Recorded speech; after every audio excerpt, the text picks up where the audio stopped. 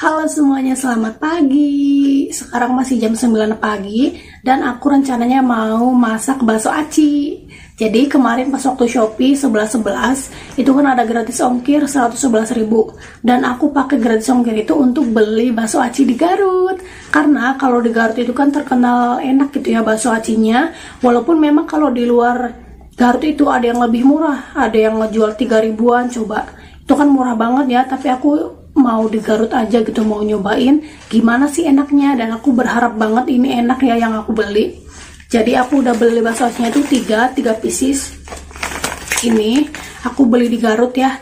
Ini harganya 5.740 perak aku berharap lah ini aku nggak nyesel gitu ya beli ini nanti kita lihat rasanya apakah seenak itu atau enggak aku udah bela-bela ini beli ini milih ini ya daripada yang lain yang lebih murah Semoga ini bisa enak, tonton terus sampai akhir karena aku yakin banget bagi kalian yang belum pernah beli uh, bakso aci instan pasti kebingungan kan cara masaknya gimana.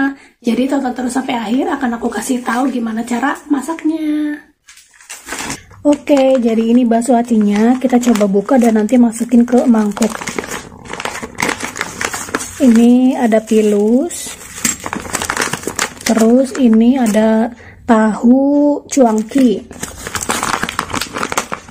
Ini jeruk nipis.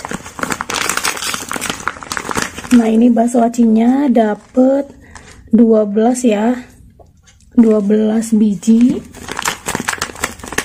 ini tahu cuangki juga dapat dua. Dan ini minyak.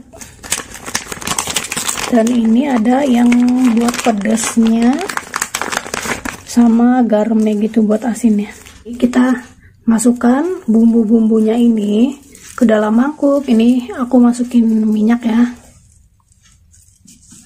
Terus kita masukin ini ya buat yang pedasnya ini buat yang pedas sesuai selera kalian mau uh, sepedas apa gitu nanti.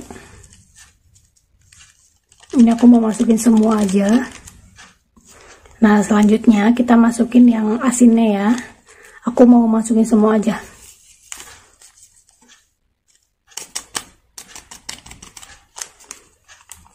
Oke, okay, dan untuk jeruk nipisnya ini kita belah ya jadi dua. Lalu kita peras deh ke dalam mangkok ini. Airnya kita peras. Satu laginya juga.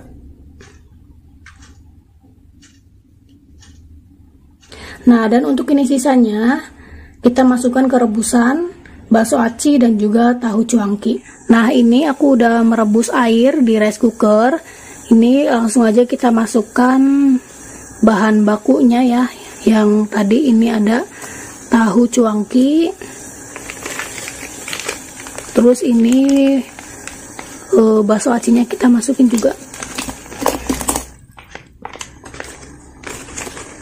Terus ini deh perasan sisa ya dari jeruk nipisnya masukin juga. Oke deh kita tutup dan tunggu 5 menit sampai 10 menit Nah kalau udah matang nanti ini bakso acinya akan terangkat ke atas ya. Mengambang tuh ini tandanya udah matang. Oke kalau udah matang seperti ini kita langsung angkat dan masukkan ke dalam mangkok yang sudah kita siapkan.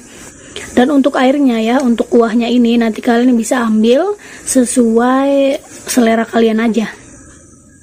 Oke ini aku mau masukin ke dalam mangkuk ya oke ini aku udah masukin ke mangkuk dan terakhir kita masukin toppingnya. Ini ada pilus dan juga batagor kering.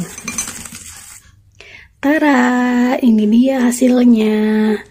Nah, untuk di toko ini, batagor keringnya sedikit ya, cuma segini. Dan biasanya itu untuk tahu cuangki itu hanya mendapatkan satu ya. Tapi untuk di toko ini kita dapat dua. Di toko ini modelannya kayak gini tuh gimana? Oke kita cobain ya. Cobain.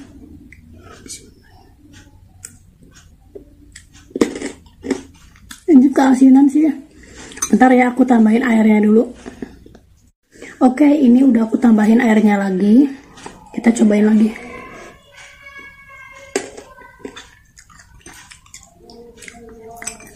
lumayan enak sih dan nanti aku taruh ya gambar uh, tampilan dari bakso acinya kalau dari foto toko. Kira-kira menurut kalian sama gak sih hasilnya antara yang aku bikin dengan yang ada di foto di tokonya?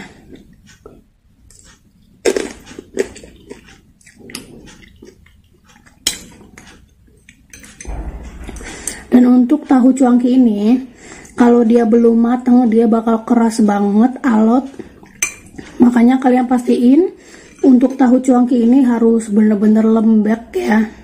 Kita cobain bakso aci.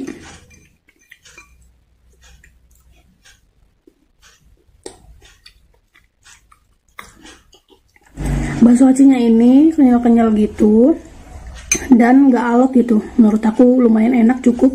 Kita lanjutin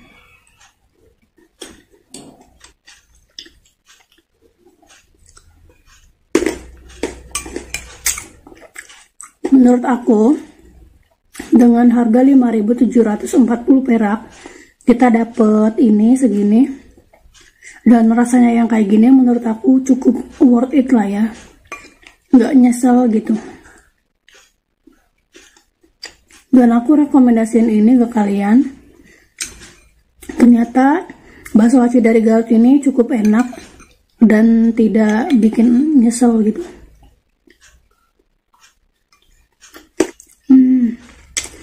enak banget. Pakai kuahnya ini cukup enak banget.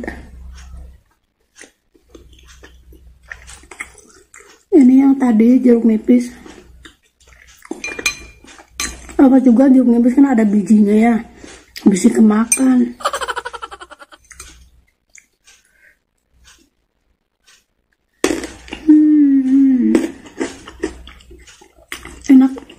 nggak nyesel coba kita makan hmm. enak banget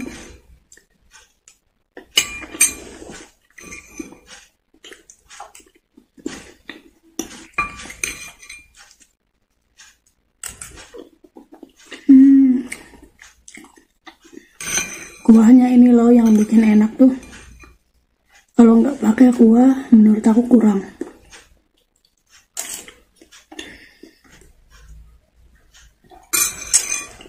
Ah, habis. Enak banget ketagihan.